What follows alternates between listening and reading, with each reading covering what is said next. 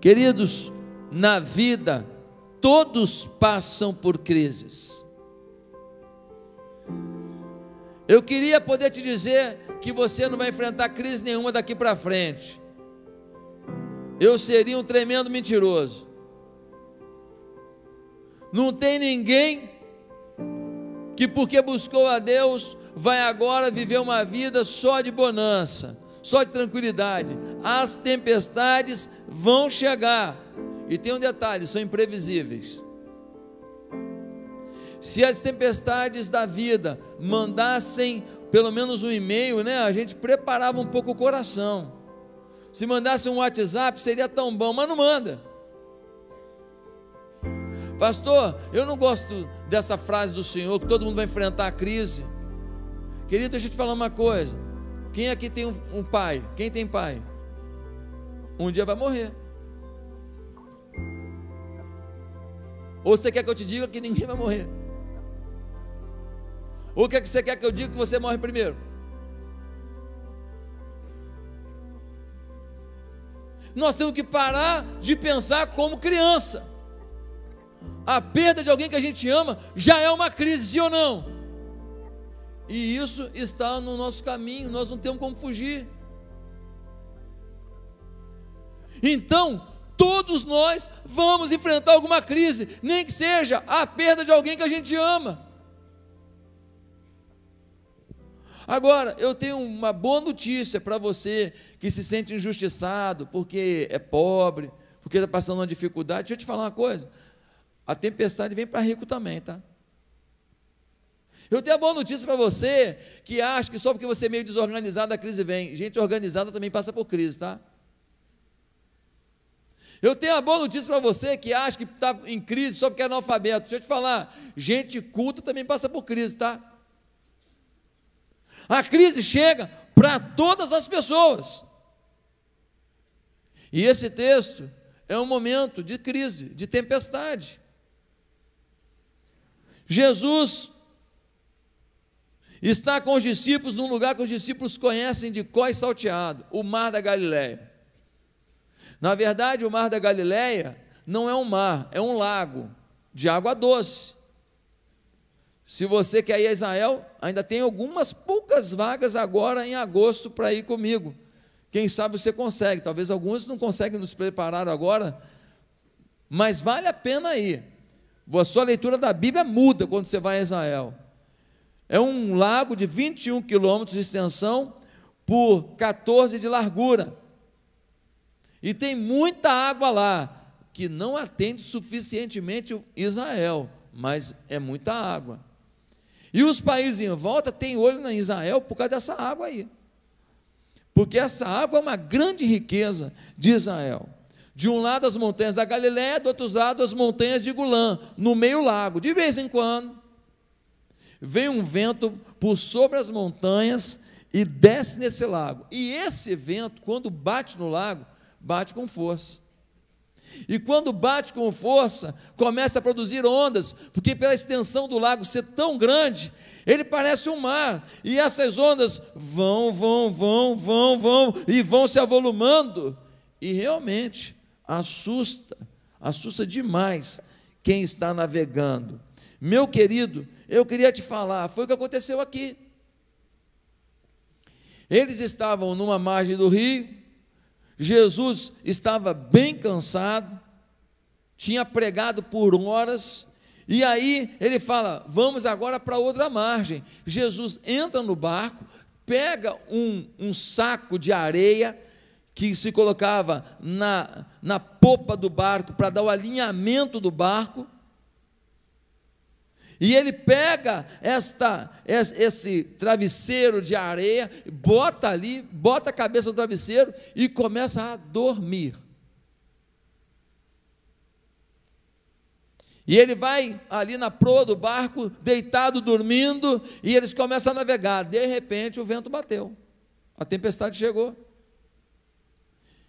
E começa a vir onda, e começa a vir onda, e começa a entrar água, e o barco começa a encher de água. Como Jesus está na parte da frente do barco, ele está numa parte um pouco mais inclinada, talvez ainda não está, está respingando nele, mas ainda não está completamente encharcado em cima dele. A água está acumulando mais aqui atrás. E Jesus está ali dormindo, e os discípulos começam a olhar um para o outro, desesperados.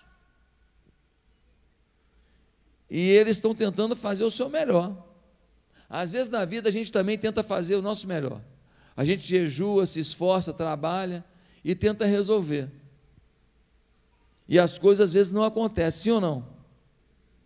E aí, quando a gente tenta do nosso jeito, com nossa expertise, com a nossa potencialidade, com a nossa capacidade, e a coisa não acontece, bate na gente um desespero, que nem bateu nele aqui desespero.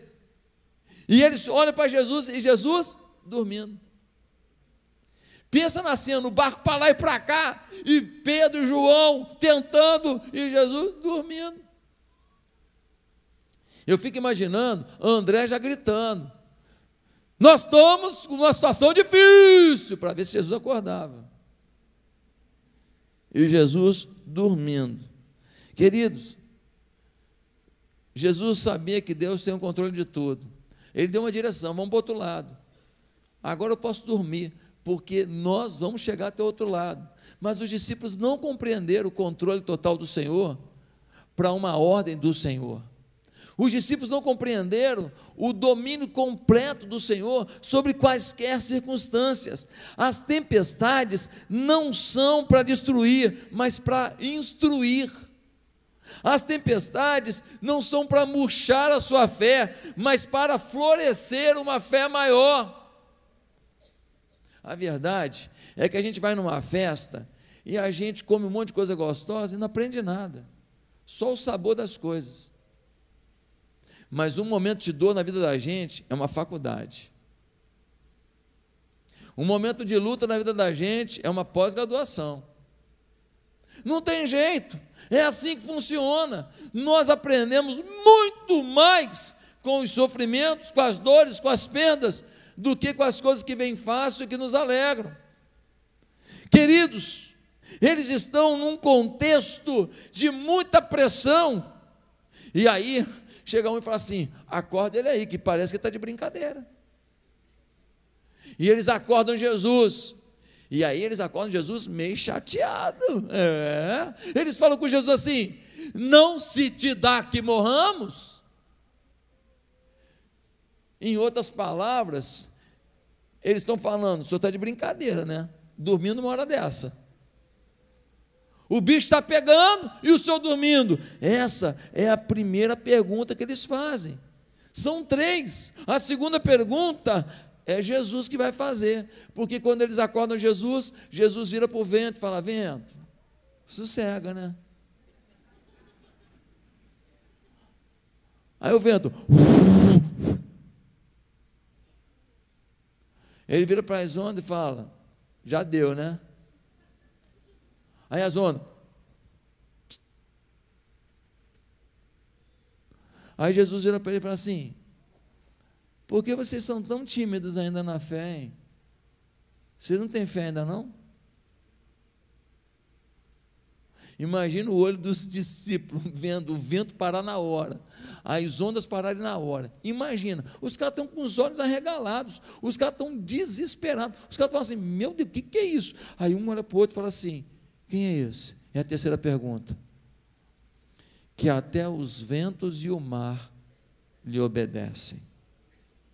Meus amados, Jesus deu uma visão e foi dormir. Vamos para o outro lado. Eles acordam Jesus com reação de acusação. Mas você sabe de uma coisa? Esse diálogo aqui nos ensina muito sobre as tempestades da nossa vida. Esse diálogo aqui pode nos ajudar a compreender muito sobre a nossa própria existência. Qual foi a primeira pergunta que foi feita? Não te importas que morramos? Como quem diz, aqui, está nem aí para a gente, né? Falou que amava, que gostava, que queria nosso bem, está de brincadeira. Não está mostrando isso agora. Confirma para mim. Às vezes, nós também nos sentimos como se Deus estivesse dormindo, sim ou não? Às vezes a gente ora, pede, clama, e a sensação que a gente tem é que Deus está dormindo, não ouviu nada, está nem aí. A gente implora e não tem resposta nenhuma. No momento mais difícil, parece que Deus não está nem aí para a gente, ignorou o nosso clamor. As tempestades não estavam somente no mar, estavam dentro do coração. Porque o sentimento de desprezo de Deus diante do nosso clamor nos dá a sensação de que a gente não está conseguindo falar ou que Deus está a nos ignorar. Meus amados, passam por tempestades muitas pessoas por desobediência, não é verdade? Lembra de Jonas? Deus falou para ele: vai pregar em Nínive. Ele falou: não vou, não, aquele povo de Nínive é ruim demais. Eu vou pregar em Tarsis. Eu escolho onde eu vou pregar. Pegou um navio para ir para Tarsis. O que aconteceu? A tempestade pegou ele. Por quê? Porque foi desobediente. Ele cai dentro d'água, joga ele dentro d'água, o, o peixe o engole. Por quê? Desobediência. Tempestade por desobediência. Ali ele tem um encontro com Deus, Deus, o peixe, nem o peixe aguenta gente desobediente, vomita ele. E aí ele é vomitado, imagina o cheiro que ele estava, vomitado, fedido. Aí ele foi para a cidade e cumpriu o papel dele. Ele estava em desobediência, a tempestade chegou. Mas tem momentos que a gente passa por tempestade e a gente fica em crise. Sabe por quê? Porque a gente está sendo obediente. Jesus que falou aqui, vamos para outro lado. Quem botou eles no lago? Jesus. Quem deu a ordem para ir para o outro lado? Jesus. Aí você fala assim: eu dou meu dízimo, eu dou minha oferta, eu trabalho no ministério da igreja, eu sou líder de célula, eu não falto ao TL, eu não chego só na hora do culto, eu venho aqui para aprender, eu estou buscando a Deus, e um monte de coisa dando errado na minha vida. Que Deus é esse? A gente tem muita dificuldade de entender obediência e crise. A gente tem a sensação de que quando a gente está obedecendo, no dia seguinte, ó, o sol brilhou na nossa vida, tudo se confirmou, as portas se abriram. O Bill Gates te ligou pedindo, pelo amor de Deus, para ser teu sócio. A gente tem a sensação que no dia seguinte, você que está querendo casar, no dia seguinte, você abre a porta, está o príncipe encantado, falando: Quer casar comigo? Você abre a porta, é um sapo, você dá um beijo e vira um príncipe, não é? Gente, nós temos a sensação equivocada. Eles estavam no centro da vontade de Deus. Deus falou: vamos para o outro lado. Jesus que mandou. Eles entraram no lago e a tempestade pegou. Nem sempre a tua obediência vai tirar de você uma tempestade. A gente tem que ser obediente não porque as coisas são favoráveis, nós temos que ser obediente por um princípio que nos move: fidelidade. Meus queridos, por que eles perguntam se ele não se importa que pereçam? Porque na visão deles, a intervenção divina está demorando. Eles foram tentando sozinhos, falando daqui a pouco ele faz alguma coisa, e nada. Daqui a pouco o nosso nossa capacidade domina o barco e nada. Então, quando eles acharam que Jesus estava demorando, o desespero bateu. Ei, querido, muitas vezes a gente acha que Jesus está demorando e a gente acha que porque ele demorou já era, sim ou não? Tem coisas que você nem ora mais, ou ora pouco, porque você acha que Jesus não está nem aí para isso, é um assunto que não está mais na pauta. Lembra quando Jesus chegou no enterro de Lázaro? Ele chegou lá, Marta e Maria, as duas irmãs, falaram o que para Jesus?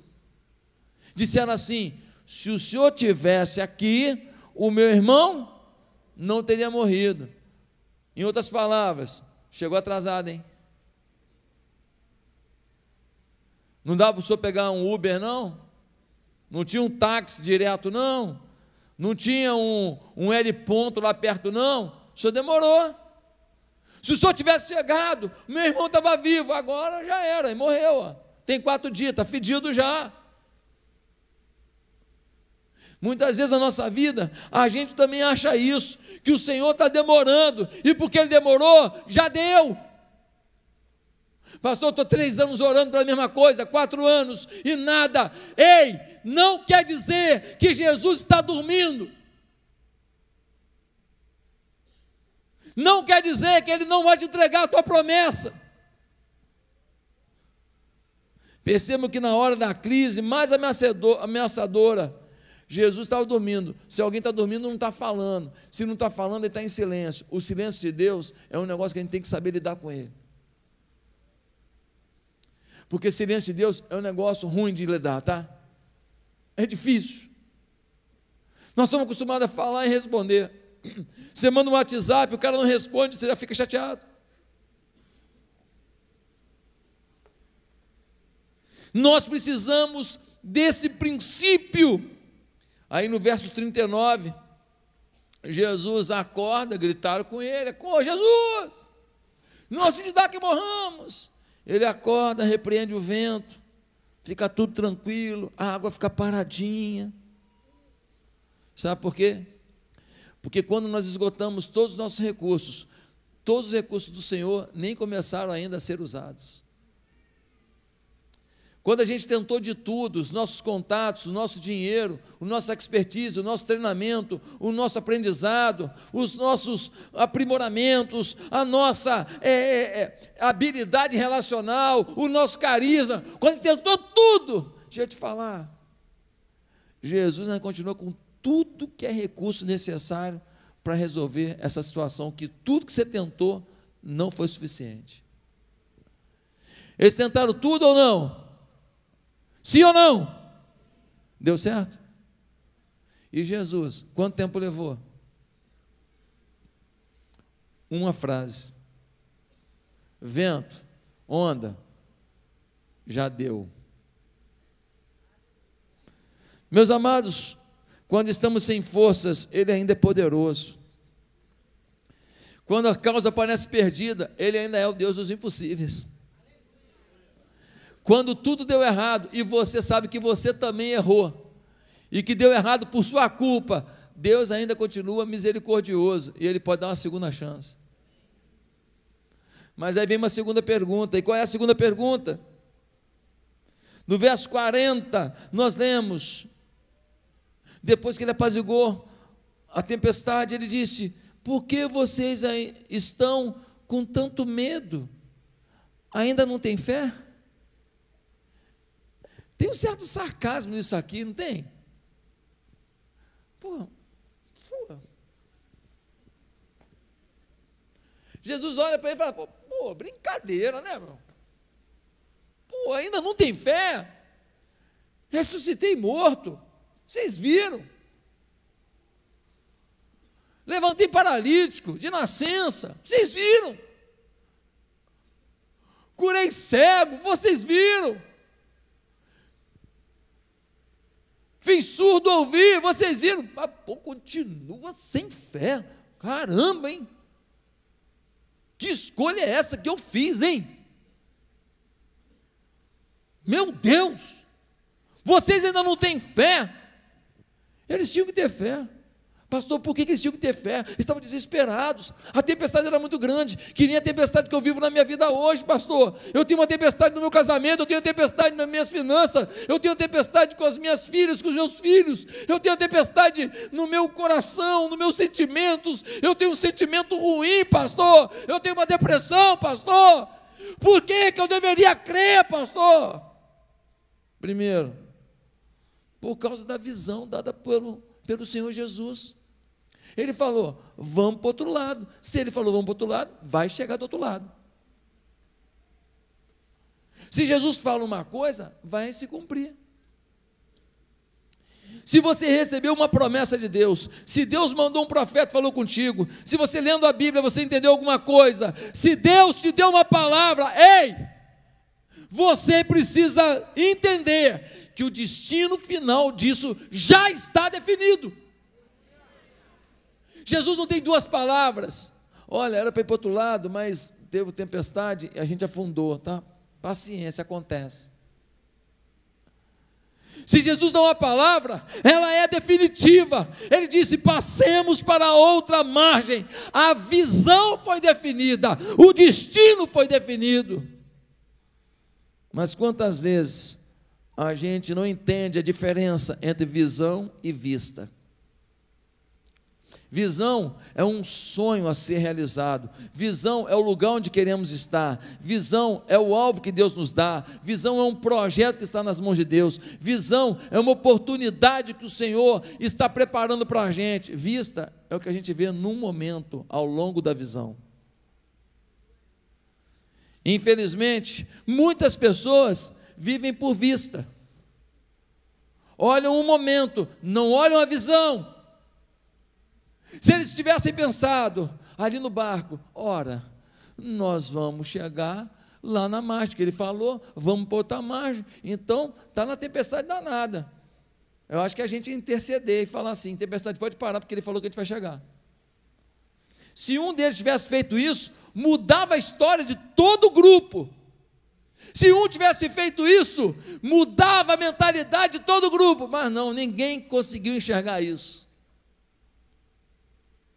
Todos viveram por vista, ninguém viveu por visão, ninguém entendeu aonde Jesus já tinha definido que eles iriam. Quer um exemplo? Abraão. Deus falou com Abraão assim: Abraão, deixa a tua terra, deixa a tua parentela, pega o teu rebanho, que é numeroso, Abraão era um homem rico, pega tudo e vai para uma terra que eu vou te mostrar. E Abraão, você tem filho? Não, não tem não. Pois é, vou te dar uma nação. E você vai ser o bendito dessa nação. E todo mundo vai ser bendito em teu nome. Mas eu tenho 75 anos, a Sara tem 65. Até hoje a gente tentou, não conseguiu. Fica tranquilo, eu agora estou garantindo. Abraão pega tudo que tem, bota a Sara com 65 anos em cima de um jegue lá e ó, vai embora ele vai para uma visão. Passa um ano, passa dois, passa cinco, mais ou menos uns dez anos depois, a Sara vira para Abraão e fala: Abraão, você já não é mais o mesmo pegador, você sabe, né? Você está com 85 e você não está mais com aquela pegada. Eu já não sou mais aquela garotinha que eu era, né, o Abraão? Vamos combinar. Então vamos fazer o seguinte: você fica com a, Sa, com a Agar, e aí ela engravida, e aí você me dá o filho. Por quê? Porque dez anos depois a visão não se concretizou. Eles passam a viver por vista. Nós ainda não engravidamos. Aí o Abraão olha para Agar, olha para Sara. É, vou fazer esforço, né? Aí ele vai e tem um relacionamento com Agar. O que acontece? Uma tragédia. Nasce Ismael. Ismael é filho de Agar, mama na Agar. Vai ter a, a Sara como mãe dele? É ruim, hein? Começa aquela briga entre as duas, aquela confusão. Chega um ponto que Abraão tem que mandar embora a mãe com o filho e filho dele. Surgem os conflitos dos povos árabes ali, começa ali. Por quê? Porque viveu por vista, olhou o momento, olhou a circunstância, não viu uma visão completa e quis resolver. E Deus falou: Eu que vou resolver. E resolveu. Com 100 anos, Abraão foi pai. E a Sara tinha 90 anos. Quer um outro exemplo? Números capítulo 13. Moisés está liderando o povo e eles vão entrar na terra prometida. Quando estão na beirada da terra prometida, aí Deus fala assim com Moisés: Moisés, pega dez espias, dez, e manda lá na terra de Canaã. Eu vou dar essa terra que eu prometi a Abraão. Eu vou dar para vocês. Vai lá e espia a terra. Dá uma olhada se a terra é boa mesmo. O que, que Deus pediu? Para espiar a terra. Abraão chama os dez espias. O que, que ele fala? Vocês vão lá espiam a terra. Olha, essa terra é boa mesmo. Olha o que, que tem lá de fruta. Olha o que tem lá de plantação. Olha, essa terra é fértil. Depois, vocês olham para o povo. Dá uma olhada, vocês são fortes. Dá uma olhada, vocês são sarados. Dá uma olhada, vocês são treinados em arte de guerra. Dá uma olhada se eles têm muita espada, muito escudo. Dá uma olhada se eles, se eles, se eles são perigosos. Deus mandou olhar o povo. Deus mandou olhar o quê? Qual era a visão? Olhar a Moisés mandou olhar o quê? A terra e as pessoas vista olhou o momento, olhou a circunstância, não olhou a visão. Deus é que vai garantir a vitória. Foi Deus que prometeu. Ele deu a visão: vai lá que eu vou garantir. Mas não, eles foram orar. Aí voltou. Aí volta os dez. Aí uns falam assim: conforme o relatório solicitado. Dois não. Josué e Caleb, o testemunho foi maravilhoso, mais dez. Eles foram lá. E aí, conforme o relatório, a terra é maravilhosa. Olha, cada caixa de uva enorme. Mas conforme o relatório solicitado, tem cada troglodita lá, meu irmão. Ó, uns caras que levantam 150 no supino, pelo amor de Deus. Os caras parecem uns monstros. Os braços do cara parecem a coxa da gente. É um negócio de doido. Ó, e tem uns caras lá, matador. Ó, o povo começa, ó, Ó o povo. Ó o povo, misericórdia. Ai, ai, ai, meu, ai, ai, ai, meu pai. E os caras vão dando o relatório. Cada frase do relatório, o povo tremia. Quando o povo treme numa batalha, já perdeu, sim ou não? Por causa disso, eles ficaram 40 anos rodando no, no deserto. Por quê? Porque perderam a visão para viver por vista. Você tem uma visão de Deus, tem uma direção de Deus, tem uma, um, um, uma opinião de Deus, tem uma promessa de Deus, tem uma palavra de Deus. Então, viva pela visão. Não olhe a vista, não, não olhe o momento, não, senão você vai perder a visão. E você não vai ter fé para orar para cada fase, até chegar à completude, até o cumprimento da visão que Deus tem para você. Meus amados, nós precisamos decidir se vamos viver por visão ou por vista. Como você vai viver? Por que eles tinham que, crer, tinham que crer em Jesus ali? Por quê? Pelo fato do próprio Jesus estar com eles. Primeiro, por causa da visão, eles deveriam ter fé, por causa da visão dada por Jesus. Segundo, porque o próprio Jesus estava ali. Sabe quem estava no barco? O Criador do universo. Lá em João capítulo 1, versículo 3, diz que, diz assim: todas as coisas foram criadas por Ele, e sem Ele nada do que foi feito se fez. Quando Deus estava criando o mundo, Jesus estava lá, Ele é Deus. Ele se fez carne, mas Ele é Deus. Quando foi formado o oceano, o mar, quando o mar da Galiléia foi feito, Jesus estava traçando os limites. Ele conhecia da onde que entrava o vento, para onde que saiu o vento. Ele sabia a profundidade de cada ponto do mar da Galileia. Mas infelizmente, muita gente olhou para ele e achou que o rei da glória estava dormindo e que não estava ajudando. Ei, querido, o Criador nunca poderia ser vencido pela criação.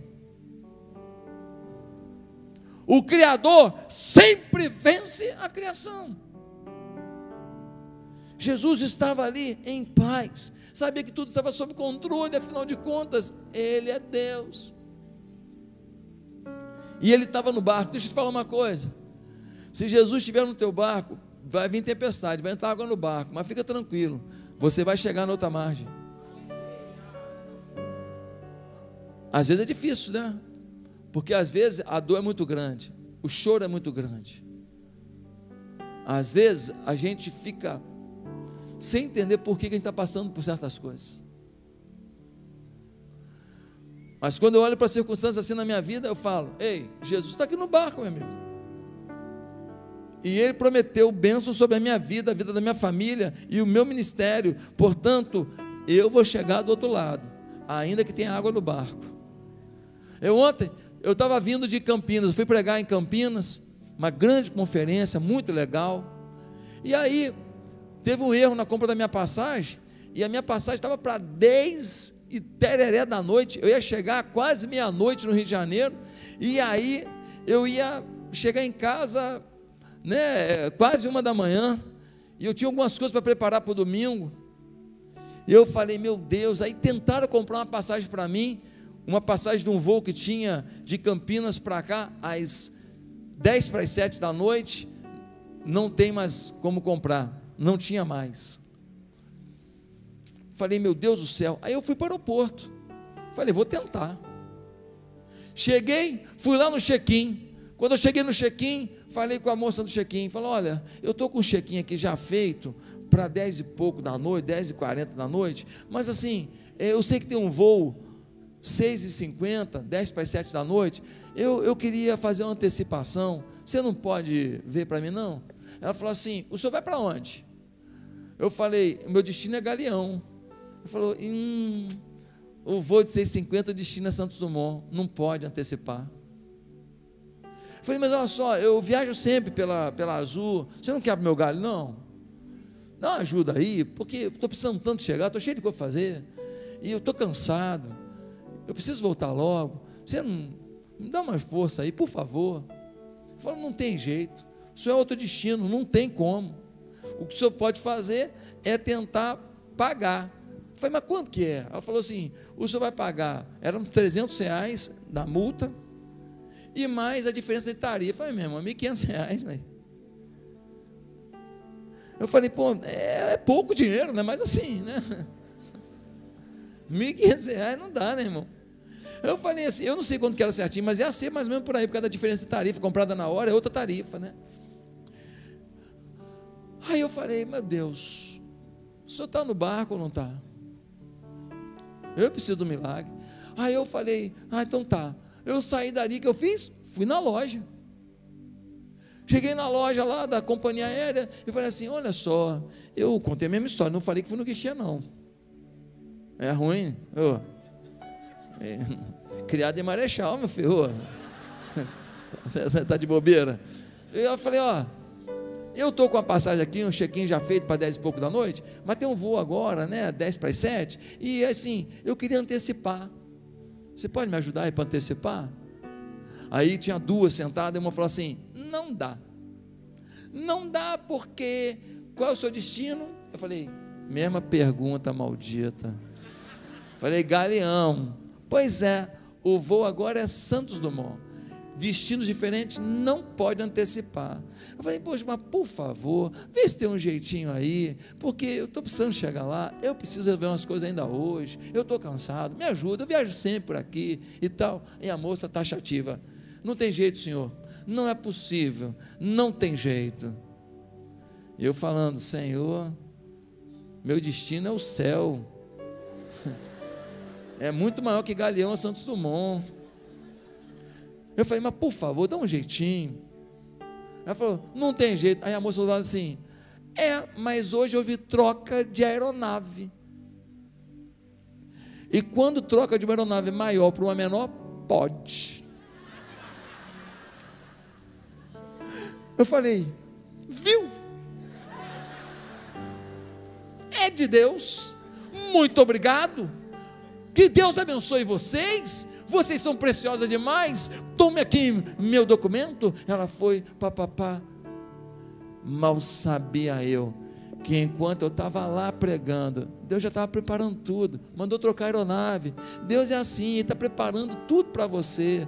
Não se desespere, mas se eu não tivesse tentado, eu não tinha pego a minha bênção. Jesus está no barco, meu filho. Nossa parte é fazer o que a gente tem que fazer é a gente se esforçar, é a gente negociar, é a gente conversar. Agora, o milagre, a troca da aeronave, aí é com Deus. Deus derruba, levanta a aeronave, manda anjo te levar na asa, aí é com Ele. O que você tem que fazer é crer que se Jesus está no barco, o seu destino vai ser atingido. Amém? Glória a Deus. Gente, por que, que eles tinham que crer, ter fé? Por que, que eles não podiam ser tímidos na fé? Terceiro motivo, por causa do poder de Jesus.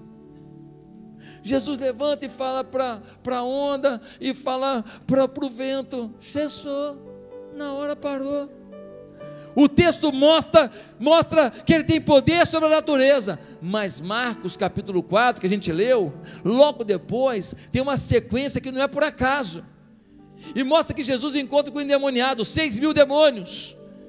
E os seis mil saem daquele homem. Que incrível o poder de Jesus, poder sobre os demônios.